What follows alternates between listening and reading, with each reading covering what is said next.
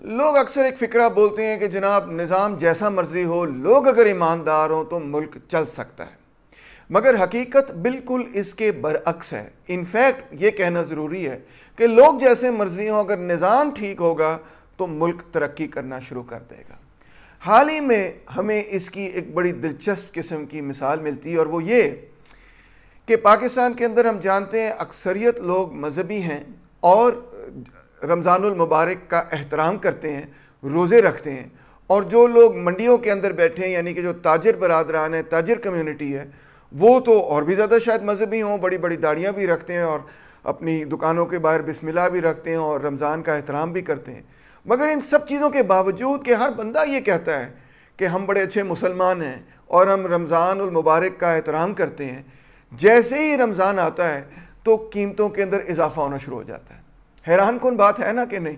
क्योंकि निज़ाम जब सरमायादारी बुनियादों पर चलेगा, जब फ्री मार्केट कैपिटलिज्म राइज होगी तो बावजूद इसके कि अक्सरियत लोग मुसलमान हैं इनफैक्ट रिज़ल्ट वही निकलेगा जो सरमायादारी निज़ाम और मंडी के निज़ाम के हिसाब के साथ जुड़ा हुआ है, उसकी मन तक के साथ जुड़ा हुआ है।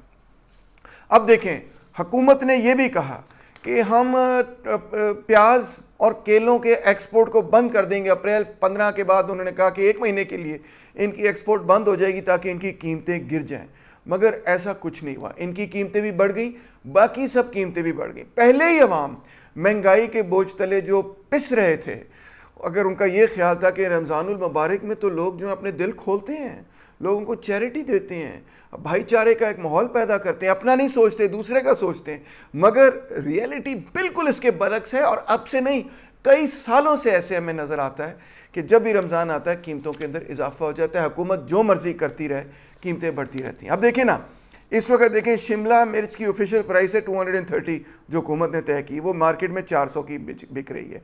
कैबेज की प्राइस है दो सौ वो सॉरी पचहत्तर रुपये वो मार्केट के अंदर दो सौ रुपये की बिक रही है।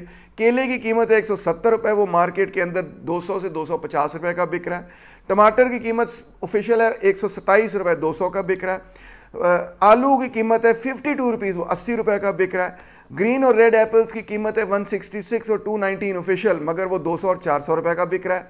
पपाया की कीमत है जी 158 वो दो सौ रुपये का बिक रहा है। चीकू की कीमत है 158 वो भी 200 का बिक रहा है। ब्रॉयलर चिकन और उसके मीट की कीमत है 392 और 608 रिस्पेक्टिवली वो 470 और 700 रुपए का बिक रहा है। काला चने की कीमत ऑफिशियल है 182 वो दो सौ अस्सी रुपये की बिक रही है। बेसन की कीमत है 209 वो 280 से लेकर 320 रुपये की बिक रही है।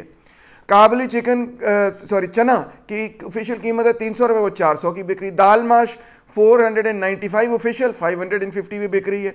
चने की दाल दो सौ चार ऑफिशियल तीन सौ रुपये भी बिक रही है। तो क्या ये जो लोग ऑफिशियल रेट से महँगे रेट पे बेच रहे हैं, ये क्या मुसलमान नहीं है? बिल्कुल मुसलमान है। मगर इनको मंडी का लॉजिक को बे करना पड़ेगा कैपिटलिस्ट लॉजिक को बे करना पड़ेगा। फिर हुकूमत ने एक और तोहफा हमें दिया और वो ये कराची वालों के लिए सिर्फ़ तोहफा था, लाहौर वालों के लिए नहीं था, कि पहले दिन रमज़ान को लो जी, सारे कराची के अंदर गैस ही बंद हो गई। मौज करें, ना अफ्तारी के वक्त गैस आ रही है, ना शहरी के वक्त गैस आ रही है, ना कोई मदद हो रही है कि कि रोज़ा तोड़ने में या रखने में तो लोग जो है वो खाना ही नहीं पका सक रहे, ना उनकी सहरी हो रही, ना उनकी अफ्तारी हो रही। अंदाज़ा करें। हुकूमत का ये ख्याल था कि इन्फ्लेशन गिर जाएगी क्योंकि उन्होंने प्राइस कंट्रोल की। मगर आपको पता है फ्री मार्केट कैपिटलिज्म है। हुकूमत भी इसकी तारीफ़ करती रहती है। उनका ख्याल था इक्कीस फ़ीसद तक इन्फ्लेशन गिर जाएगी। इस वक्त twenty nine almost thirty percent पर इन्फ्लेशन चल रही है। शॉर्ट टर्म इन्फ्लेशन इससे ज़्यादा है। मगर लॉन्ग टर्म इन्फ्लेशन इस वक्त जो है ट्वेंटी नाइन परसेंट पे है। अच्छा अब इन्फ्लेशन ट्वेंटी नाइन परसेंट पे है तो इंटरेस्ट रेट का क्या होगा? जब इन्फ्लेशन बहुत हाई होती है इंटरेस्ट रेट अगर नीचे होंगे तो फिर ये तो जो लोग कर्जा ले रहे हैं, उनके लिए बेनिफिट करता है ना? बैंकों के लिए बेनिफिट तो नहीं करेगा तो इंटरेस्ट रेट को भी ऊपर रखना पड़ेगा। तो इसका मतलब ये है कि एक्सपेक्टेशन कुछ लोगों की ये थी, शायद अब नए फाइनेंस मिनिस्टर मोहम्मद औरंगज़ेब आए हैं, जो कि फाइनेंस मिनिस्टर से, बनने से बनने तक नेदरलैंड्स के सिटीज़न थे और बनने के बाद उनको फौरी तौर पे पाकिस्तानी सिटीज़न बना दिया गया। वो एक्स सी ई ओ हैं, एक एच बी एल बैंक के। और उन्होंने बड़े एतमाद से कहा है, जी कि, हम केयर टेकर गवर्नमेंट की पॉलिसीज़ कंटिन्यू करेंगे।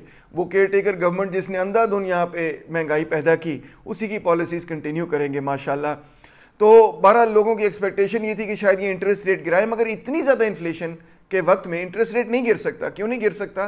क्योंकि इतनी ज़्यादा इन्फ्लेशन के वक्त में इंटरेस्ट रेट गिरेगा तो जो लोन करने वाला है, उसको बड़ा शदीद नुकसान होगा। तो ये अनलाइकली है कि वो इंटरेस्ट रेट जो है गिराएँ। बल्कि और मुबारकबाद आपको, मुबारक खबर आपको देता हूँ। उन्होंने कहा है कि हमें लार्जर और लॉन्गर बेल आउट पैकेज चाहिए इंटरनेशनल मॉनिटरी फंड से। हाँ जी, मुबारक हो, वो ये नहीं कह रहे कि हमने किसी तरह पाकिस्तान को जो है सेल्फ सफिशेंसी की तरफ़ ले जाना है, हमने आईएमएफ से कर्जे नहीं लेने, हमने आईएमएफ के कर्जे ख़त्म करने हैं, अपने पैरों पे खड़ा होना, ना ना ना। वो कह रहे हैं, हम उनसे और भी ज़्यादा कर्जे लेंगे।